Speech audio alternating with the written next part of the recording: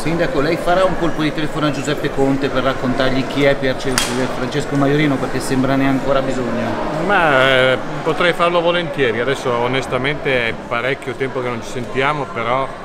credo che mh, mm, se dovessi chiamarlo, e probabilmente lo chiamerò, lo chiamerei per dirgli non tanto e solo chi è Maiorino e insomma chi più di me può portare la testimonianza essendo stato parte della mia squadra, ma più che altro quelle idee, quali sono i punti che vogliamo essere punti comuni, perché se non ci sono punti comuni è inutile che ci inventiamo alleanze, ma se ci sono siamo obbligati a farle. Ma quindi questa telefonata la farà? Ma penso, posso farla, adesso sinceramente non ci avevo pensato, però posso anche farla, cioè nel senso che comunque alla fine con Conte io avevo avuto rapporti non solamente quando era Presidente del Consiglio, ma anche in una fase successiva. Ripeto, adesso poi non ci siamo sentiti, ma mancherebbe altro.